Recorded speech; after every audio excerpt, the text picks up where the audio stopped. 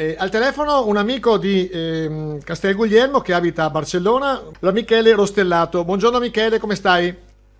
Ciao a tutti, ciao, benissimo. Un saluto a voi. Eh, abbiamo letto e sentito che anche voi eh, avete più o meno le nostre, eh, le nostre stesse criticità. Come va? Beh, guarda, non è una situazione semplice perché cosa vuoi? Non possiamo uscire, ma come anche voi attualmente in Italia, eh, proprio oggi il governo spagnolo ha, in, in, ha, um, ha, praticamente allargato il lockdown fino al 26 di aprile compreso, quindi in sostanza la Pasqua la dovremo passare un po' tutti a casa. E niente, ovviamente sono anche uno dei tanti fortunati che comunque riesce a lavorare da casa in uh, smart working, smart working eh, quindi senza quindi senza recarmi in ufficio, quindi in remoto. E, mm, e, niente, rispetto a tanti, a tanti anche dei connazionali che purtroppo attualmente, eh, complice la situazione, hanno dovuto richiedere la propria azienda la cassa integrazione.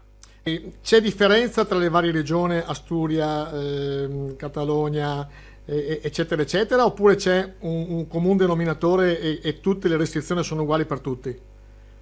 Allora, le restrizioni sono uguali per tutte perché sono state prese governo, dal governo centrale.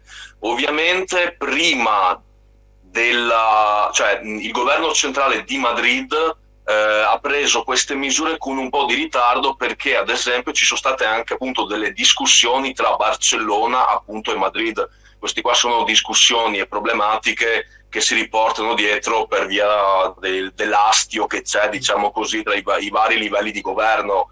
Però eh, le misure chiaramente eh, sono eh, uguali, eque eh, per tutte le regioni, per l'Andalusia, per eh, le Asturie. Ovviamente ti dico dell'Andalusia perché dal primo al 6 dovevo andare proprio in Andalusia e mi hanno cancellato il volo. E quindi, quindi, quindi niente. Eh, ma la gente come sta accettando queste restrizioni? Con filosofia, con filosofia spagnola, oppure c'è nervosismo e, e, e malumore e malessere?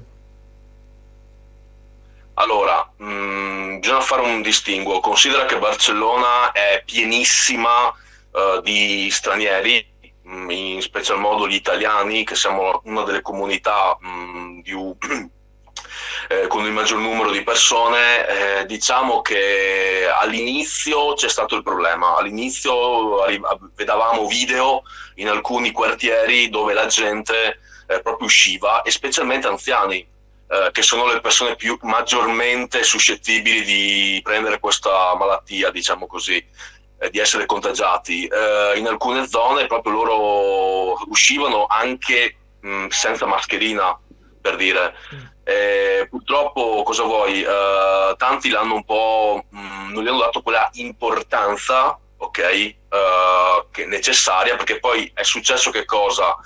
Che a, a, proprio per questo tanti la vedono, cioè la prendono un po' con, con filosofia, eccetera. Pare però da, da, dalle ultime, o meglio, da quello che vedo anche nel mio quartiere, quando scendo per fare un po' di spesa, un po' di compere, non vedo più quasi nessuno vedo solo un po', vabbè, qualcuno che, che, passa con la macchina per lavoro, eccetera, e qualche macchina della polizia.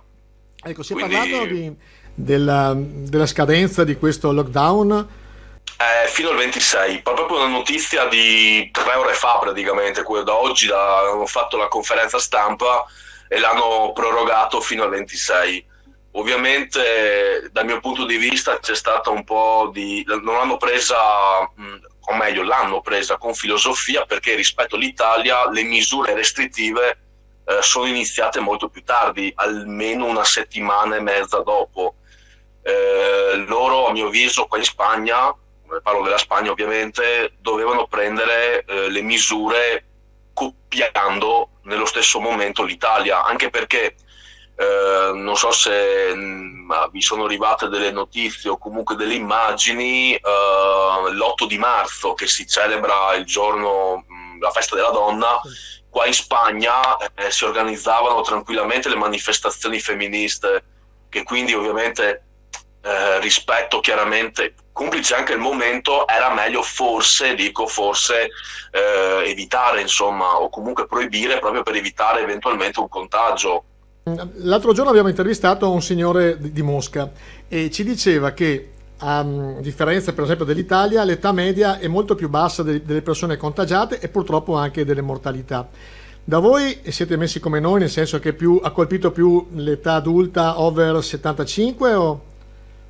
Sì, allora ti dico una cosa, è successo che, non so se vi sono chiaramente arrivate le notizie, in alcune case di riposo, eh, ad esempio tipo a Madrid, mi pare su una ne, ne sono morti tipo dai 25-30 persone mm. anziane. Eh, anche a Barcellona è successo qualcosa di analogo. Sì, il numero diciamo, delle persone che eh, contagiate è over 70, questo sì, perché comunque leggevo anche la stampa spagnola proprio in, inerente proprio a questo. Eh, ce ne sono anche di media età comunque dai 40 ai 65, ok? Non è così diffuso tra i giovani almeno perché comunque non, non abbiamo avuto queste notizie, però gli ospedali come voi vedete anche le notizie eh, sono un po' abbastanza pieni, specialmente a Madrid, al collasso quasi. Ecco, quindi anche voi avete il problema di mancanza di apparecchiatura, attrezzatura negli ospedali e, e, di, e di, mascherine? Eh, la mascherina io ad esempio non l'ho trovata perché le farmacie eh, hanno cessato di venderle, almeno queste del mio, del mio quartiere, quindi io per uscire utilizzo una semplice bandana. Eh, mm. ovviamente ho provato anche a fare la, eh, la richiesta su Amazon, ma i tempi di, di arrivo sono abbastanza lunghi anche se è qua a Barcellona.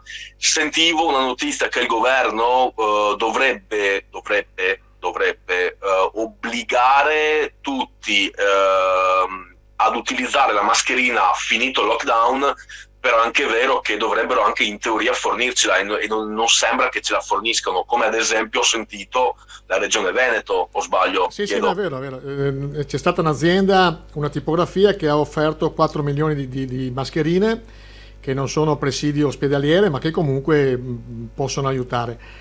Eh, Michele, io ti ringrazio, naturalmente auguri e uh, ci vediamo in Italia, va bene?